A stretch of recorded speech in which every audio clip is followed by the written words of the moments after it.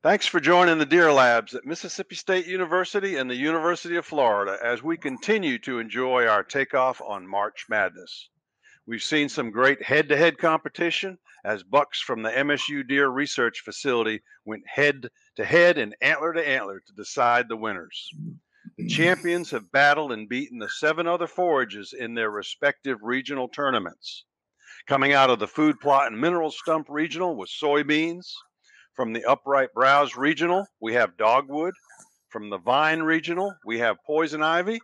And from the Forb Regional, Beggar's Lice. Today's guest host has long been a champion in his own right. No one has been the source of more knowledge on how to manage early successional habitat for wildlife. He's the sage, the master of managing timber, old fields, and food plots to produce quality deer forage. Craig Harper is professor and extension wildlife specialist in the Department of Forestry, Wildlife, and Fisheries at the University of Tennessee. Craig, thanks for joining us.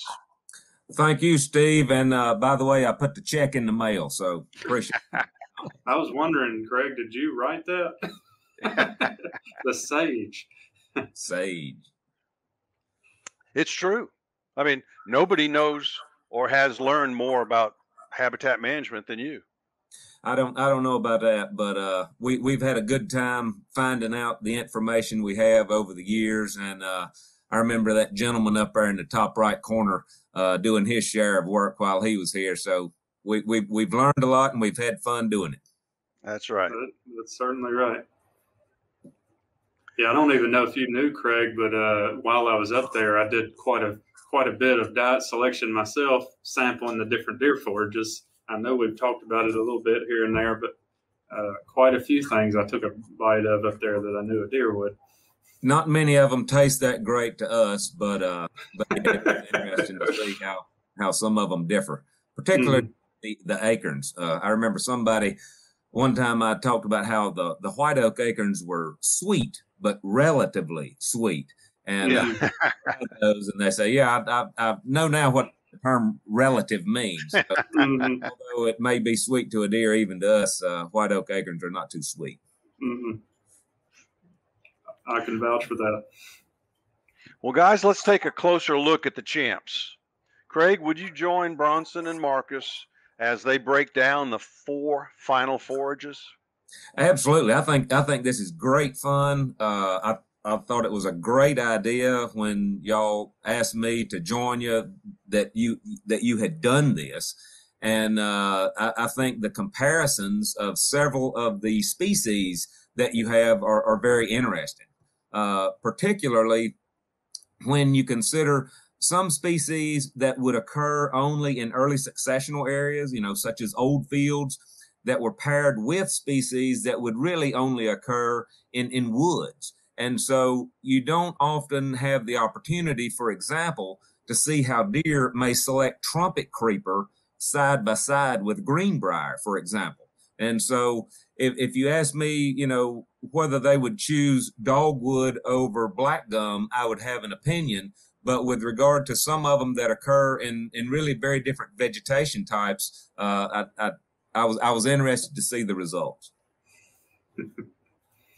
Well, I think uh, from my perspective, looking at these these final four right here, I'm a little bit surprised about a couple of them, and uh, not so surprised about a couple of the other ones. And uh, yeah, it's really interesting to to see when we start talking about why we picked which one and uh, comparing that among our notes. Uh, it, it's going to be a really interesting debate here. I think why we yeah. think those things got there.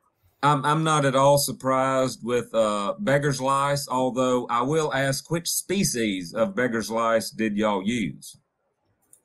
That's a great question. And I think we had a mixture of species that were, you know, we were picking multiple species. And uh, I, I want to say that it was uh, panicle. Is that the name? Panicle desmodium was probably dominating it. Paniculatum. Mm-hmm. The safe answer would be Desmodium spa.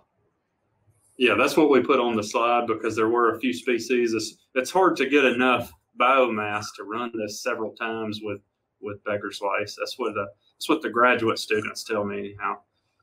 Another one that I found surprising was, or not surprising, that uh, that I thought one thing one one of the plants that I thought might be in there that a lot of people don't consider is wild lettuce. That one is, is strongly selected by deer, and I, I chose beggar's lice in my prediction for the forbs, but I figured if that's not correct, uh, I wouldn't be surprised if wild lettuce uh, pulled it out, but obviously it didn't. Well, Craig, you're making me feel better because that was my choice. Well, that was a good one. I was torn about that one, just myself. I, I had, yeah, me too. I, I, had three picks for forbs that I thought uh, it, it, was kind of flip a coin a couple times because I correctly w- was lucky. Beggar's Lice is my choice. Pokeweed, I thought, and mainly that was biased because of the crude protein. Uh, but but pokeweed, I would not have been surprised if that had won. And the and the same thing for wild lettuce. Th- those are my top three picks. Uh, and luckily, just just went with beggar's lice. The same thing with uh, with our food plot mineral stumps. Uh, Cuz chose alfalfa, and I know there have been a lot of situations and from from people that I really trust as well, and a little bit of personal experience about lots of deer. Maybe when they're both available on the landscape, you'll see a lot of selection for alfalfa.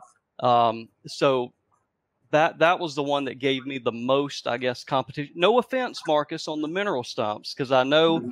they certainly had the opportunity.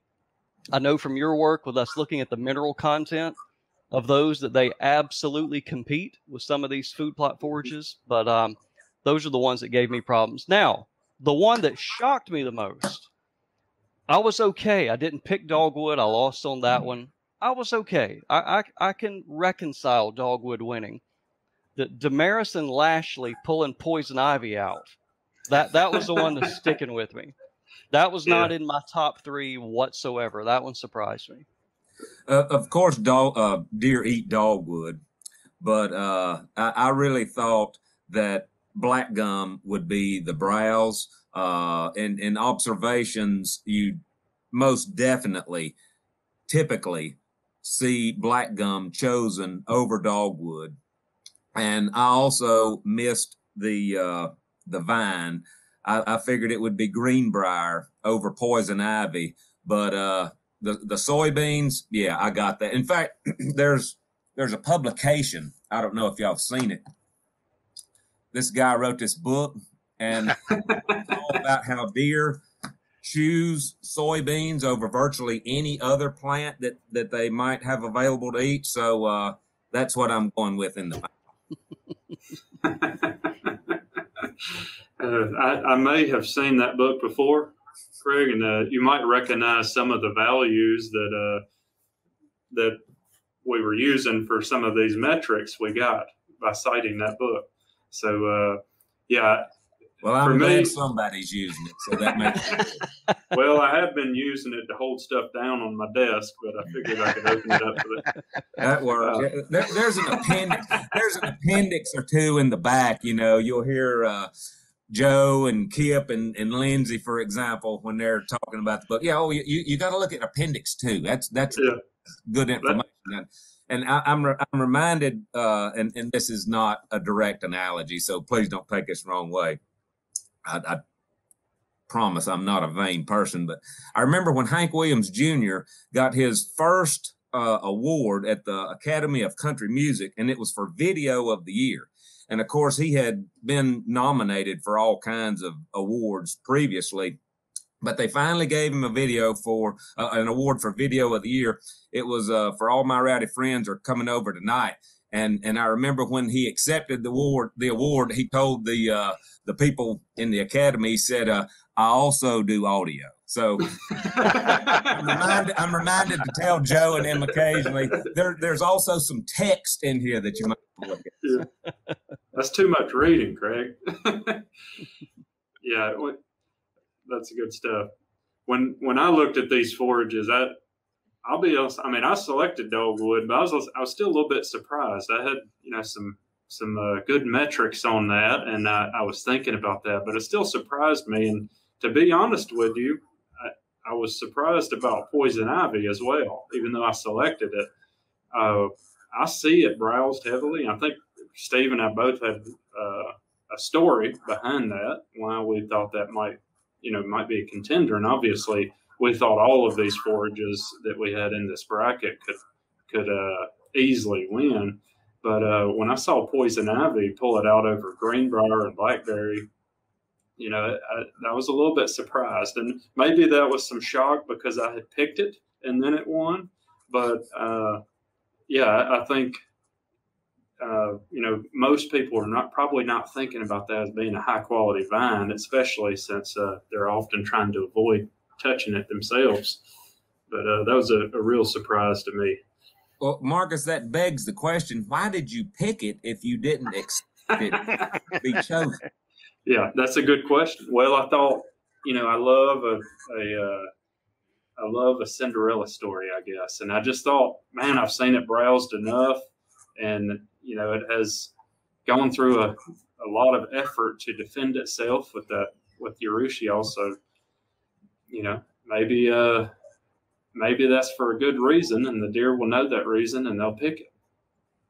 But Marcus, you go through that list. If you see it browsed a lot, so is trumpet creeper, so is blackberry, so is smilax, greenbrier, uh, Alabama supplejack. It goes on and on. Well, I, I think you may have rolled the dice and got that one right. Well, if you really want to drag it out of me, I was very confident that you would not select poison ivy, and I thought if I I need to select something Bronson is not going to select because he's not going to win this. Uh, that's what I was thinking oh. that whole time. Trying to separate each other. Yep. Yeah, I was thinking. And, and is it gonna is, is, it gonna matter in the end between you two if one of you outguesses the other? Is there like I don't know some wager or anything? Yeah, we've been we've been talking about that, and uh, I was thinking it might be a good idea for us to make a little friendly wager. And and uh, one thing we thought about is if if uh, Bronson wins, then maybe I would shave my head. So, uh, and I then if, that is a great idea. conversely, if uh, if I win, maybe Bronson would grow his hair out. Yeah, and, and, I'm willing to do that because I'm I'm confident in my final pick. The the problem is um, I don't know if I have the capacity to grow it out. So I, I, I may have to get you know some type of supplement to put up here. Maybe yeah. maybe we could uh, grow the beard out then. Yeah, maybe I could go that route. there you go. I, I would like to propose that whoever is doing the producing and editing in, in the background, please go ahead and show Bronson's pick as winning, whether it won or not. uh, well, speaking yeah. of where we are in that con- little friendly competition, uh, I'll I'll throw out. I'm I'm I've been humbled. Uh, I'm only at fifty percent so far. I well, picked soybeans too. and poison ivy. That's what I'm, I am. Fifty percent. I'm I'm at fifty percent. I picked uh, soybean and beggar's lice. I I missed the dogwood and I missed the vine poison ivy. Well, based on y'all's comments, maybe it would have been a little better to just roll the dice on these things. yeah, I'm. Uh, I guess I'm sitting with dogwood, poison ivy, and beggar's lice, and based on uh, looking at people's brackets online, I may have been one of the only ones that didn't pick soybeans. Well, I've been wrong before, and I'll be wrong again, but I don't think I'm going to be wrong on this one. greatly surprised if soybeans does not win. And I will even go so far to say if soybeans does if if the deer y'all chose in this experiment did not select soybeans over dogwood, poison ivy, or beggar's lice, there was some issue physiological going on with those deer. So we need to we need to They were special was, needs, uh, special needs deer. I, I, was thinking there was something with with the poison ivy. I was like, Damaris has tampered with these deer in in some way for them to select poison yeah. ivy over greenbrier. He's he's tampering with it somehow. I just don't get- buy it. They didn't give them their shots or something. Yeah. They're trying to fend off something. Well, certainly all of these regional champs have a lot going for them. So, so let's kind of finalize which one we think is going to win. Marcus, you want to lead off? Oh no, let's, let's go. Oh. I'm sorry, go with Dr. Strickland. All right. So here's the way it goes. And mind you, I made this pick before Craig joined us today. And and it just does so happen though. I might have one of his books here that may have supplemented in my decision making. No. So let me go with my heart and my brain. My heart, I want to pick a native forage so bad. I really want to choose beggar's lice. Uh, that's really what I want it to be. However, I know the power of soybeans. Uh, seen it time and time again how they are so selected. Deer can't stay away from them. Uh, the palatability off the chart. You know, not only nutritionally are they really good. It was like Kip brought up the other day. They just taste really, really good to deer. So uh, that is my choice of the bracket. I'm sticking with with soybeans. Craig, I don't mean uh, you want to go with Marcus. oh, I'm I'm I'm sorry. I'm getting all mixed up today. The excitement, it's palpable. I- I'm sorry. I'm just losing it. Dr. Yeah. Lashley. Sure. Yeah. So you know what? I have misplaced my book from Craig, and that's why I don't have soybeans as an option anymore. I guess. Uh, yeah, I, I filled out my bracket before this as well, and because of that, I, and I did not have soybeans in the bracket Mm. Uh, to make it to the final four. I think that would be a pretty obvious one if I was looking at it in, in uh, hindsight. It's a, there's no question that it is a powerful forage, but I was left with three options, which I will remind everybody is one more than Bronson and Steve had to choose from. Uh, well played. yeah, so I, I've been thinking about that a lot, and and uh, I've been going through it, and my gut, I, I'm, you know, I have a couple of ideas, actually three of them. Uh, that that was another dig there, Bronson. If you didn't get that, uh, between my three choices, you know, I, I've been thinking about why would I pick one of those three, and you know, Desmodium, I is one of them that I want to go with my heart, and I picked Desmodium because I, I just have always loved that genus. It's my favorite plant genus, and uh, my you know my heart would be to do that. But you know, if you've ever been to to a casino, going with your heart and what your gut feeling is is not always the best strategy. Going with the numbers is often that better strategy, and I. You know, I just keep going back to the numbers on dogwood, and I'm thinking if if we actually compared these forages, the next, you know, we, we have over two percent calcium in the young tissue on dogwood, and the next closest one is like a half a percent. Uh, I'm not sure what the soybeans are, but I know that it's not nearly as high.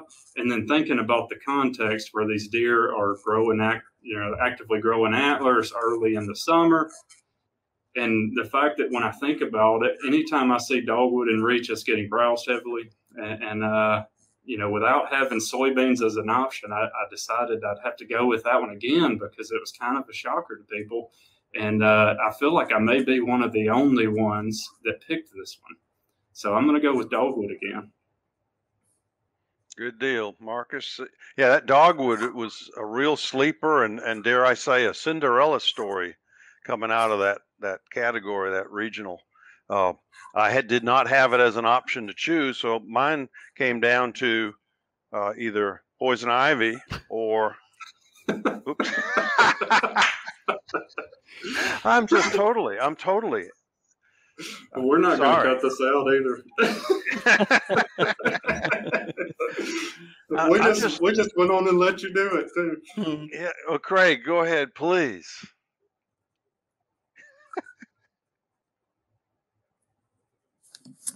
Well, I'm not going to uh, try and be very scientific or ecological in this. I'm simply going to go with experience and a touch of common sense.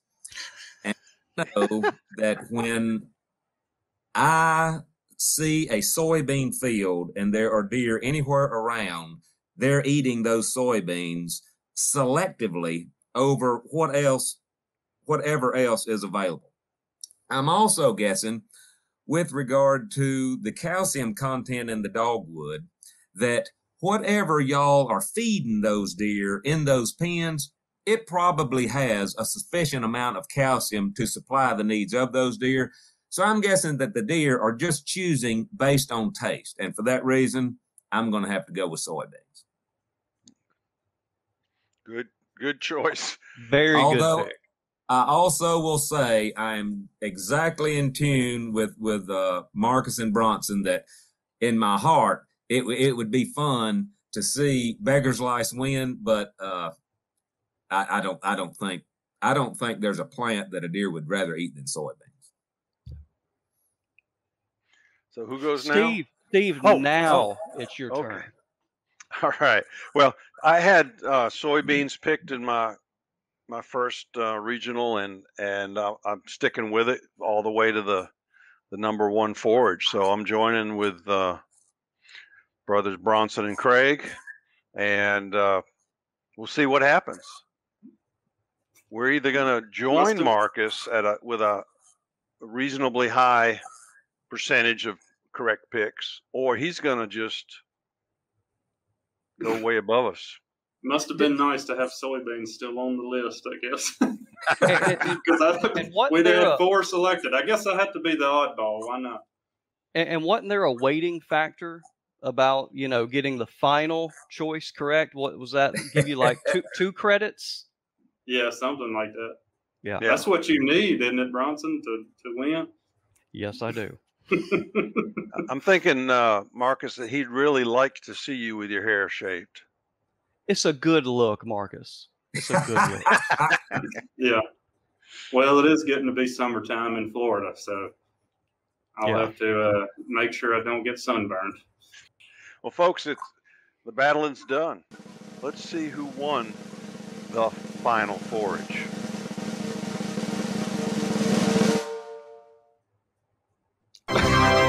Oh! oh my gosh. Guys, you do not underestimate the power of the calcium. Can you believe dogwood? No, no. no, I can't. Oh man, if somebody else picked dogwood out there, we need to see your bracket. I want to see it. Please tag us. Send us your bracket if you picked dogwood. Can you believe that? Okay, uh, Luke or whoever's in the background, go ahead and now show who really won. oh man, if they change it now. All right, Oh, so man. I, I I got two out of the first four and, and, and lost out the championship. So I got what two points out of five or, or six, two out of six. Craig, what was your score? Assuming the, the champ was two points. I, I chose I chose soybeans out of that bracket. I chose black gum out of the browse. I chose greenbrier out of the vines, and I chose beggar's lice out of the forbs. Okay, so you're a two out of the two out of six. Yeah. Bronson? I guess I need to look for some kind of hair tonic. I got uh I had two out of the six as well. My my bracket was the, the same as Craig's. Yeah. You know, who, whoever's in the background, instead of switching up the results and all that, could we just show people what Bronson is going to look like when he grows his hair out? I think we have the capability of doing that. Let's just let's just see what that looks like for people. Marcus, how many points did you get out of this? Uh, I believe I selected dogwood, poison ivy, beggar's lice, and then dogwood for the overall win. So that Bronson, Very that- good. you're you're the quantitative guy out of out of the MSU Deer Lab. That that that sums to five, I believe. That would be correct. That's five out of six. You gotta love a Cinderella story. oh my Wow. gosh. Dogwood. Yeah, I'm trying to. Envi- it's been so long since I've had hair. I don't know if it's going to be what color. Gray. I guess it should be gray. Bronson's still thinking about growing the hair. Now, wonder how many people are going to be going out in their woods and cutting down the dogwoods to uh, allow them to sprout at this point. I don't know, but I hope they will. Well, they're going to miss out on it here, some beautiful. They're going to miss out on some beautiful flowers in the springtime if they do Uh, that's Craig. correct. But And, and and keep in mind that was silky dogwood, not flowering dogwood, that's Mhm. right. That's right. which Yeah, the that's true. nutritional What? content is pretty close. Mhm. I didn't know that. Marcus held that back on. If I had had any idea it was silky dogwood, it would have changed my bracket entirely. Yeah. Yeah, we need to throw a flag there. That's a foul. Well, you know, one of the times that I really started appreciating dogwood as a fo- as a forage is when I was collecting it as a graduate student after we had burned. And if it's been top killed by fire and it's resprouting where it's all in the reach, it will always be browsed.